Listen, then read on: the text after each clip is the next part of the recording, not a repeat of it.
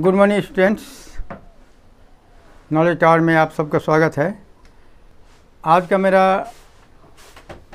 Grammar grammar में एक topics है, जिसका नाम है more hints on the usages of determiners देखिए।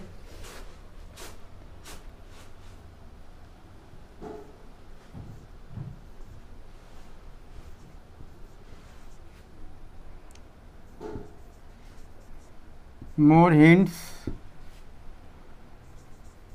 on the usage of on the usage of determiners.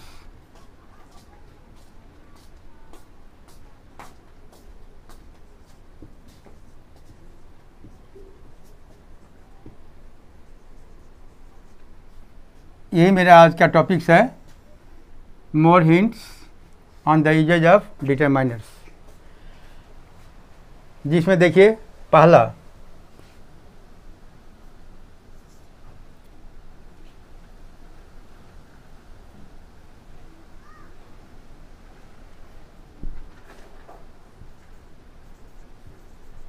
much and many.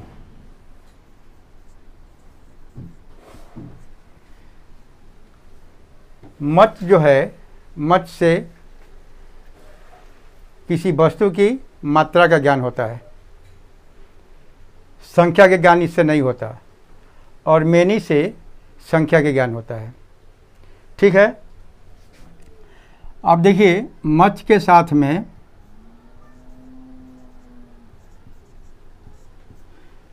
Much के साथ में आपको अनकाउंटेबल नाउन आता है।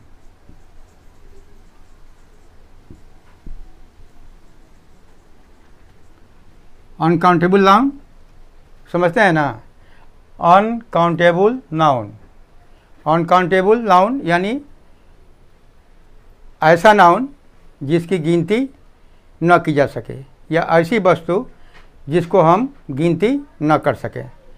वैसे नाउन को अनकाउंटेबल नाउन कहते हैं। तो मच के साथ में हमेशा अनकाउंटेबल नाउन ही आता है। ठीक है?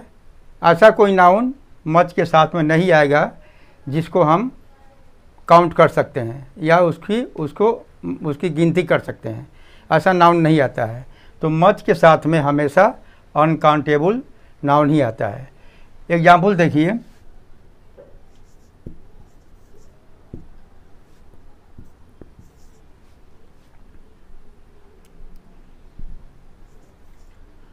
I have no much rice. I have no much rice ये राइस जो है राइस राइस अनकाउंटेबल नाउन है, क्योंकि राइस राइस की गिनती नहीं की जा सकती।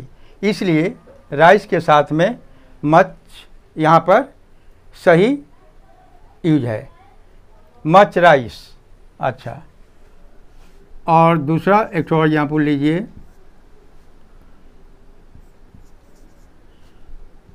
He has no much sugar sugar भी एक नाउन है, लेकिन वो ऐसा नाउन है जिसकी गिनती नहीं की जा सकती। इसलिए शुगर भी यहाँ पर अनकाउंटेबल नाउन है। इसलिए he has no much sugar much इस शुगर चूँकि अनकाउंटेबल नाउन है, इसलिए इसके साथ में मच आया हुआ है। राइस अनकाउंटेबल नाउन है, इसलिए उसके साथ में मच आया हुआ है। और मच से मात्रा का ज्ञान होता है। ठीक है? इसमें दूसरा है मैनी तो देखिए, मैनी जो है, मैनी के साथ में हमेशा आपको प्लूरल नाउन आता है।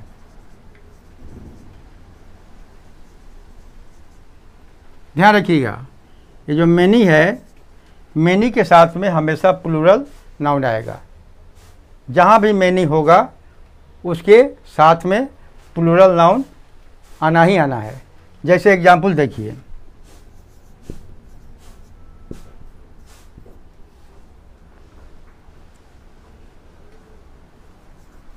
I had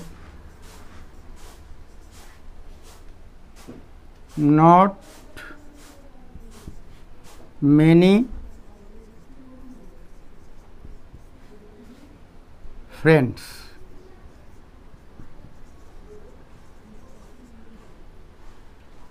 I have not many friends यहाँ देखिए फ्रेंड्स यानी मित्र या दोस्त तो मित्रों की मित्र जो है फ्रेंड्स जो है यहाँ पर, ये पुलर नाउन है। फ्रेंड में एस लगा हुआ है तो ये हो गया फ्रेंड्स। तो मैनी के साथ में, और ये चूँकि नाउन है तो मैनी के साथ में हमेशा ही प्लूरल नाउन आता है। सिंगुलर नाउन मैनी के साथ में कभी नहीं आएगा। और दूसरा देखिए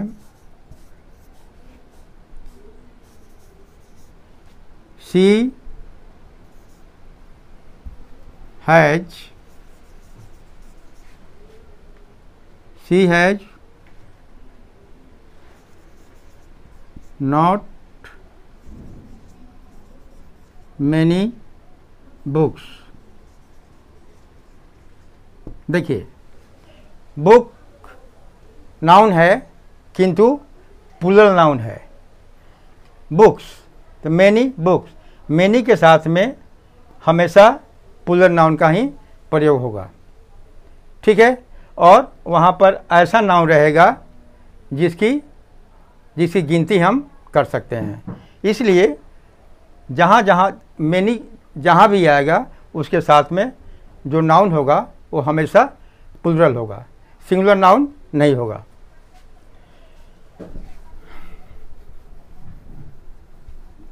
इसी प्रकार का दूसरा है बोथ और ईच ये सभी डिटरमाइनर्स हैं। इसमें दूसरा जो है, आपका बोथ एंड ईच बोथ का हिंदी मीनिंग होता है दोनों।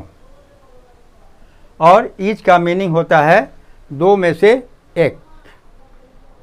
दो में से एक। वन ऑफ़ द टू तो ईच का मीनिंग ही होता है वन ऑफ़ द टू यानी दो का, दो में से एक. अब देखिए यहाँ पर.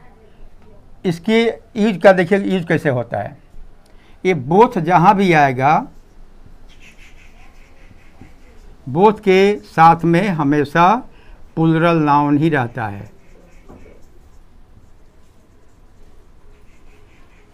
बोथ जहाँ भी आएगा, उसके साथ में हमेशा जो नाउन होगा, वो पुलरल होगा। पुलर माने समझते हैं ना? पुलर माने का होता है? बहुवचन। ठीक है? आप लोगों को पढ़ाया गया है वचन, जो आप लोगों को पढ़ाया गया है।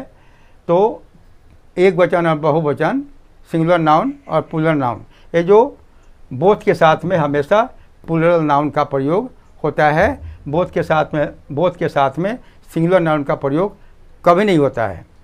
अब इसका एग्ज़ाम्पल देखिए। बोथ सिस्टर्स आर प्लेइंग देख रहे हैं यहाँ पर, देखिए। बोथ और बोथ के बाद में जो नाउन आया ये पुलरल नाउन है। ठीक है? इसको हमेशा ध्यान में रखिएगा।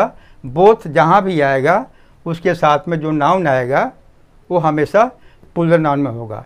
तो ये सिस्टर जो है, आपका नाउन है। किंतु ये आपका पुलर नाउन है। देखिए, इसमें एस लगा हुआ है तो सिस्टर और सिस्टर्स। तो सिस्टर्स जो हुआ, आपको पुलर नाउन हुआ, जो बोथ के साथ में है। हमेशा ध्यान रखेंगे बोथ के साथ में जो हमेशा पुलर नाउन आता है। जैसे यहाँ पर बोथ सिस्टर्स आर प्लेइंग दोनों बहनें खेल रही हैं। एक और एग्ज़ाम्पल लीजिए।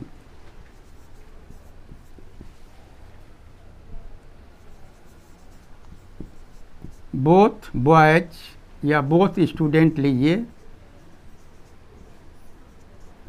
Both students were absent.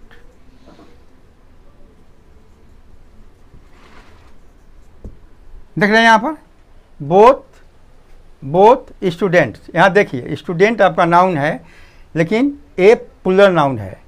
इसलिए बोथ के साथ में ये जो नाउन आया ए पुलर नाउन हुआ। ठीक है? Both students way are absent दोनों विद्यार्थी गैर हाजिर थे। ठीक है? तो इस बात को हमेशा ध्यान रखिएगा कि बोथ के बाद में जो भी नाउन आएगा, वो हमेशा पुलर नाउन में रहेगा। ये सब के सब डिटरमाइनर्स हैं। और इसमें का दूसरा है ईच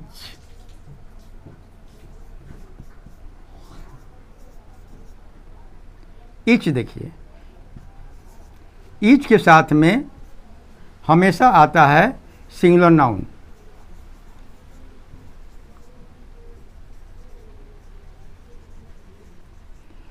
खूब ध्यान से समझिए, ये डिटरमाइनर्स है और ये हर स्टूडेंट को, के लिए जानना आवश्यक है। तो देखिए ईच ईच के साथ में हमेशा सिंगुलर नाउन आता है। सिंगुलर नाउन यानी एक वचन आता है। तो अब देखिए एग्ज़ाम्पल देखिए क्लियर हो जाएगा।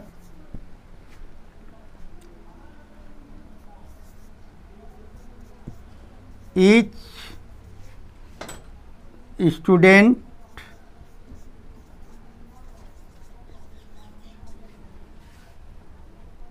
is present. Each student is present.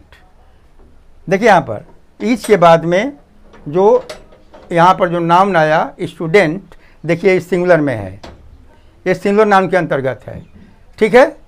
तो ईच स्टूडेंट इज़ प्रजेंट प्रत्येक विद्यार्थी प्रजेंट यानी हाजिर था, उपस्थित था, उपस्थित है।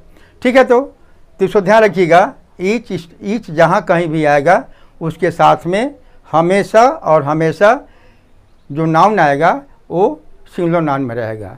पुलर नाउन में कभी नहीं रहेगा। ईच के साथ में हमेशा सिंगुलर नाउन का ही प्रयोग होता है। और एक तो एग्ज़ाम्पल ले सकते हैं।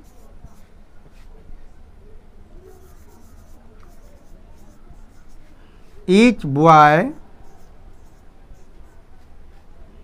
is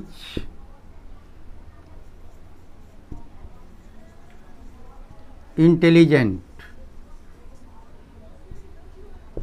Each boy is intelligent ये देखिए यहाँ पर ईच बॉय देखिए ईच के बाद में जो बॉय आया बॉय ए सिंगुलर नाउन में है। बॉय यानी लड़का एक नाउन है जो सिंगुलर है। इसलिए ईच के साथ में ईच बॉय इज़ इंटेलिजेंट ठीक है? तो ईच के बाद में, ईच के बाद में जो भी नाउन आता है, हमेशा सिंगुलर नाउन में रहता है। इसको हमेशा ध्यान रखेंगे। अब मैं आता हूँ इसके बाद में। ऑल एंड एवरी खूब ध्यान से इसको जानिए और समझने का प्रयास कीजिए। ये बहुत काम के सब डिटर्माइनर्स हैं। All and every all and every all का मतलब होता है, आप जानते होंगे ऑल का मतलब होता है सब का सब, माने पूरा का पूरा। और एवरी मतलब होता है प्रत्येक, यानी हर एक। ठीक है? मिनी लिखना मैं आवश्यक नहीं समझता हूँ। ऑल माने सब, पूरा, और एवरी माने होता है हर एक, प्रत्येक। अब देखिए। इसका अब ये समझना है कि ऑल के साथ में जो नाउन होता है, वो सिंगुलर होता है या प्लूरल होता है। तो ध्यान रखिएगा, ये ऑल जो है आपका ऑल के साथ में हमेशा और हमेशा आपको पुलरल नाउन ही रहता है।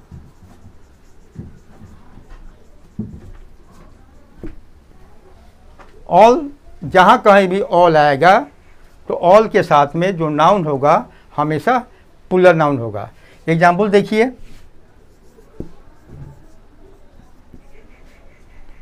All boys were playing यहाँ ध्यान दीजिए। एग्ज़ाम्पल वन में। देखिए ऑल ऑल के बाद में जो बॉय नाउन आया, वो पुलरल है। ठीक है? तो ऑल कहीं भी आएगा तो उसके साथ में जो नाउन आएगा, वो हमेशा पुलर नाउन में रहेगा। यानी बहुवचन में रहेगा। और दूसरा एग्ज़ाम्पल देखिए। All girls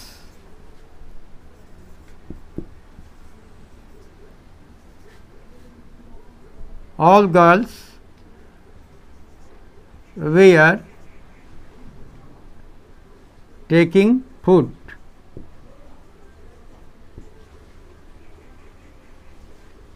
अब देखिए यहाँ पर। हमको पूरे सेंटेंस से कोई मतलब नहीं है।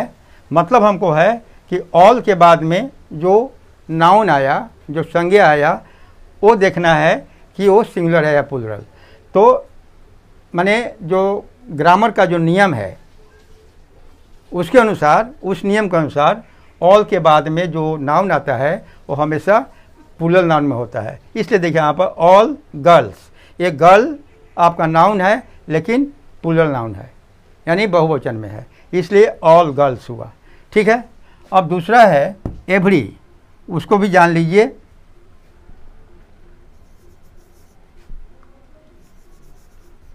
एवरी अब देखिए एवरी एवरी जो है, ये सिंगुलर है। तो जब एवरी सिंगुलर है तो इसके साथ में सिंगुलर सब्जेक्ट सिंगुलर नाउन आएगा। जैसे देखिए, इसके एवरी के साथ में हमेशा सिंगुलर नाउन यानी एक वचन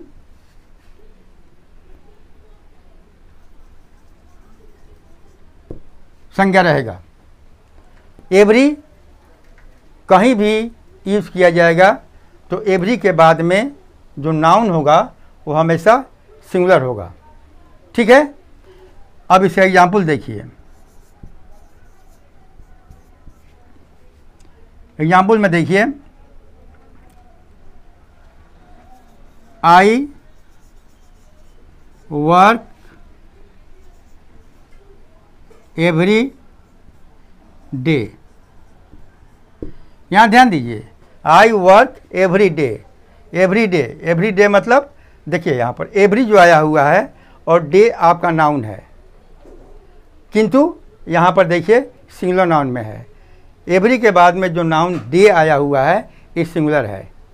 तो ग्रामर के नियम के अनुसार एवरी जहाँ भी आएगा, उसके साथ में जो नाउन होगा, वो हमेशा सिंगुलर नाउन में होगा। और देखिए, दूसरा example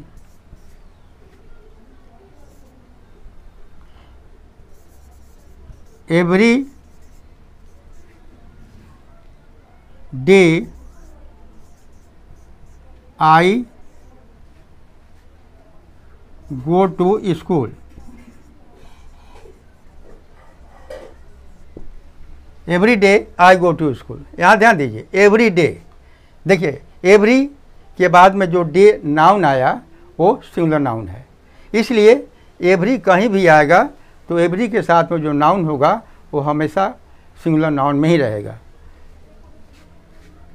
अब इसके बाद देखिए। सम और एनी।